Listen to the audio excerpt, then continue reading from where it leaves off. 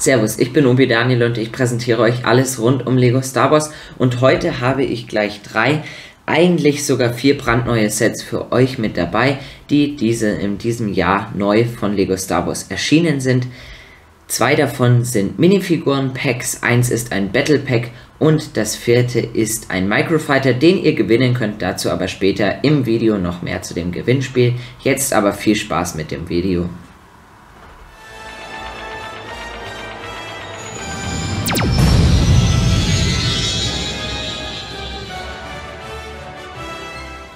Insgesamt sind am 1. Januar dieses Jahres eigentlich fünf Sets erschienen, davon stelle ich euch nur vier vor. Beim fünften Set bin ich mir nämlich nicht so sicher, ob ich es mir überhaupt kaufen soll. Vielleicht könnt ihr mich ja da überzeugen. Und seid mir nicht böse, aber ich werde heute nicht wirklich auf die Story eingehen von den einzelnen Sets, da es erstens kleine Sets sind und zweitens es eigentlich auch nur Soldaten sind und keine wirklichen Charaktere, die eine Rolle in Star Wars spielen. Und ähm, es gibt auch zwei neue Arten von Sets sozusagen, und zwar Minifiguren-Packs. So eine Art von Sets gibt es, soweit ich weiß, im Lego Star Wars-Genre noch nicht, aber in anderen Themenbereichen von Lego gab es die schon mal. Jetzt viel Spaß zu den einzelnen Packs. Es ist einmal das Pack Verteidigung von Hoth mit der Seriennummer 40557 und die Kommandostation der Klone Trooper mit der Nummer 40558. Bei den Sets handelt es sich um verkleinerte Battle Packs mit je drei Minifiguren und einem größeren Fokus auf Realismus als auf Spielfunktionen. Das nächste Set ist das Rot Battle Pack mit der Nummer 75320, ein klassisches Battle Pack mit vier Lego Star Wars Minifiguren. Das vierte Set ist ein Microfighter, der Razor Crest Microfighter mit der Nummer 75321. Den werde ich nicht aufbauen, den könnt ihr nämlich gewinnen. Dazu später im Video mehr, da erfahrt ihr auch, wie ihr das Set gewinnen könnt. Und dann noch zu dem fünften Set, das ich noch nicht gekauft habe, den Hode ATST mit der Nummer 75322. Da bin ich mir einfach noch nicht so sicher. ATSTs habe ich schon einige und ob er es wirklich wert ist, weiß ich einfach noch nicht. Was denkt ihr da? Hat ihn von euch schon jemand gekauft? Wer ihn kaufen will, ein Tipp, bei JB Spielwaren ist er zurzeit im Angebot. Den Link dazu findet ihr in der Beschreibung. So, und jetzt zu den Sets im Einzelnen. Verteidigung von Hoth. Das Set Verteidigung von Hoth mit der Seriennummer 40557 besteht aus 64 Teilen, bringt drei bewaffnete Minifiguren, Rebellensoldaten, zwei große Standgeschütze und einen 1.4 FDP Tower, einen stationären Abwehrlaserkanone mit. Wie schon der Name verrät, stammt das Set aus Episode 5 Das Imperium schlägt zurück. Es passt auch sehr gut zu dem AT-AT aus dem Jahr 2021. Zu den Minifiguren. Alle drei Figuren tragen den gleichen Helm. Die Brille kann man entweder an dem Helm befestigen oder über die Augen ziehen. Sie haben drei unterschiedliche Köpfe. Die Hautfarbe ist bei allen drei Figuren unterschiedlich. Eine Rebellensoldatin ist weiblich, sie hat nur ein Gesicht. Die beiden anderen haben zwei Gesichter. Der Rebell mit der dunkelsten Hautfarbe trägt einen Bart. Zwei der Rebellen tragen die gleiche Uniform. Es handelt sich um einen sehr aufwendig bedruckten Overall mit Rangabzeichen und silbernen Bedruckungen auf der Brust. Auch die Gürtelschnalle ist silbern und am Gürtel ist auch noch eine Brusttasche aufgedruckt. Auch die Beine sind auf Höhe der Knie bedruckt, die Rückseite ist mit einer Kapuze bedruckt. Der Gürtel setzt sich auch hier fort der andere Rebell trägt eine Art Steppweste.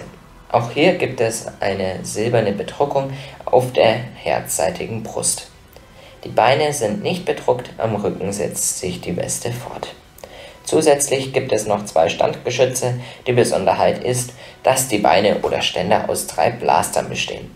Zusätzlich gibt es zu den Geschützen jeweils einen kleinen bedruckten Kasten. Ich muss aber gestehen, ich weiß nicht, was das sein soll. Hat da jemand von euch eine Ahnung? Schreibt das bitte in die Kommentare. Zuletzt gibt es noch einen der P-Turm 1.f FD, eine stationäre leichte Panzerabwehr-Laserkanone, die wegen ihrer hohen Feuerkraft primär zur Fahrzeugabwehr eingesetzt wurde. Sie ist in dem Set drehbar und eine Minifigur kann dahinter platziert werden und sie drehen. Kommandostation der Clone Trooper. Das Set Kommandostation der Clone Trooper mit der Setnummer 40558 besteht aus 66 Teilen, bringt auch drei Minifiguren mit und eine Kommandozentrale. Das Set stellt eine Szene auf Geonosis dar in Episode 2 Angriff der Klonkrieger. Yoda wird von einem Gunship abgesetzt und ein Klon-Commander wartet in der Station auf die Befehle. So ist es jedenfalls im Film. So eine Kommandostation gab es auch schon in dem Set 7676, das Gunship aus dem Jahr 2008. Zu den Minifiguren. Es gibt zwei Klonsoldaten und einen Klon-Commander. Die Helme der drei Figuren sind von der Form gleich. Bei dem Commander gibt es eine orangene Bedruckung. Die Arme des Commanders sind im gleichen Orange bedruckt. Die beiden Klonsoldaten tragen eine typische Uniform, die sich am Rücken fortsetzt. Neu sind die bedruckten Beine und Füße. Der Commander hat neben den orangenen Armen noch vier Punkte, Rangabzeichen, herzseitig aufgedruckt. Dann gibt es noch die Kommandostation, in der ein Clone Trooper an diversen Anzeigen arbeiten kann. Zusätzlich gibt es noch einen Waffenständer, an dem es auch noch ein kleines Anzeigefeld gibt. Jetzt zu dem eigentlichen Battle Pack, dem Snowtrooper Battle Pack. Die Snowtrooper kommen zum ersten Mal in Episode 5 vor. Sie kommen eigentlich auch in Episode 6 vor, die Rückkehr der Jedi-Ritter. Das Set besteht aus 105 Teilen, an Minifiguren werden drei Snowtrooper und ein Scout-Trooper mitgeliefert. Die drei Snowtrooper haben zwar unterschiedliche Waffen, sind sonst aber gleich, bis auf die Köpfe. Die sieht man zwar eigentlich nicht, da sie ja Helme aufhaben, aber jeder der vier Figuren hat ein anderes Gesicht, auch mit einer anderen Hautfarbe, aber nur einem Gesichtsausdruck. Fun Fact: Einer der hellen Köpfe ist der von Tom Riddle aus dem Buch Lego Harry Potter Das magische Lexikon. Die Helme sind sehr schön gestaltet und sehr filmnah. Die Augen sind auf die Helme aufgedruckt. Die Uniformen sind vorne und hinten reichlich mit silbernen Applikationen bedruckt, auch auf den Beinen setzt sich die Bedruckung fort die Figur ist ein Snow Scout Trooper. In der Form, also ein Snow Design, gab es die Minifigur noch nicht. Der Helm ist nicht anders als bei den Scout Troopern bisher, der Oberkörper ist aber anders bedruckt als die Scout Trooper bisher. Die Bedruckung ist sehr aufwendig, besonders den Rücken finde ich sehr gelungen. Auch die Beine sind bedruckt, die Arme sind hellgrau, in den anderen Sets waren sie schwarz. Neben den Minifiguren gibt es noch ein Speederbike, ein Geschütz und etwas Landschaft als Kulisse. Das Speederbike wird von dem Scout Trooper benutzt, ähnlich ist es auch in dem UCS 8080, nur die Farbgebung ist etwas anders. Das Geschütz ist mit einem Stud ausgestattet, der die Geschosse jetzt etwas anders abschießt. Mir gefällt er bisher besser als die alten, irgendwie wirkt er realer, ja, und dann gibt es eben noch eine kleine Kulisse, die an die Schneelandschaft auf Hoth erinnern soll. Hoth ATST. Den Hoth ATST habe ich mir bis jetzt noch nicht gekauft. Ich kann auch also auch noch nicht so viel darüber erzählen. Das Set besteht aus dem ATST, einem ATST-Piloten, Chewie, einem Hoth-Rebellen und einem Suchdruiden. Irgendwie reizt mich schon wieder ein ATST nicht besonders. Gefühlt gibt es jedes Jahr einen anderen ATST und sie werden nicht wirklich besser. Wie gefällt euch denn der Hoth ATST? Was meint ihr? Sollte man ihn kaufen? Für alle, die ihn kaufen wollen, bei JB Spielwaren ist er bereits im Angebot für knapp 43 Euro. Einen Link dazu findet ihr in der Beschreibung. Das vierte Set ist dieser kleine Microfighter von The Mandalorian und zwar ist da die Razor Crest drin und der Mandalorianer selbst. Das habe ich aber noch nicht geöffnet, da ich es für das Gewinnspiel in diesem Video vorbereitet habe. Und zwar könnt ihr das gewinnen, indem ihr an einem kleinen Ratespiel teilnehmt. In meinem letzten Short habe ich nämlich schon gesagt, dass ich gerade ein ziemlich großes Set produziere, beziehungsweise in Arbeit ist, das ich euch vorstellen möchte.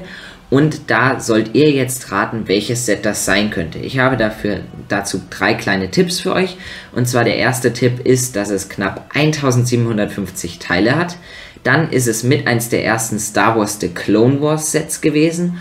Und es gab es bisher noch nicht wieder, beziehungsweise es ist ein UCS-Set, heißt es wurde nicht nochmal neu produziert von Lego Star Wars.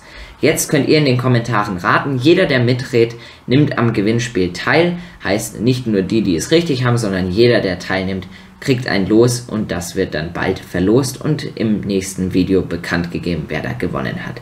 Also viel Erfolg euch und jetzt kommen wir auch gleich zum Fazit. Ich finde diese ganzen Packs sehr, sehr cool. Ich finde es jetzt ein bisschen komisch, dass jetzt Lego Star Wars eine neue Variante von Sets rausbringt mit den Minifiguren-Packs, aber das finde ich gar nicht so schlimm, weil die Preis-Leistung ist echt gut und ich finde es toll für Armeen zum Bauen und zum Beispiel für Mocks, wenn man da viele Figuren, die ungefähr gleich aussehen, also eine Armee bauen möchte in der Mock, sind die echt gut. Zum Beispiel man hat hier eine Landschaft dabei, man hat Geschütze dabei. Das ist echt sehr gut dazu. Und ich finde auch die einzelnen Minifiguren sind sehr schön gestaltet, dass teilweise die Soldaten ein bisschen anders aussehen. Und ich finde es auch toll, dass sie den Scout Trooper mal in einer Schneevariante gemacht haben.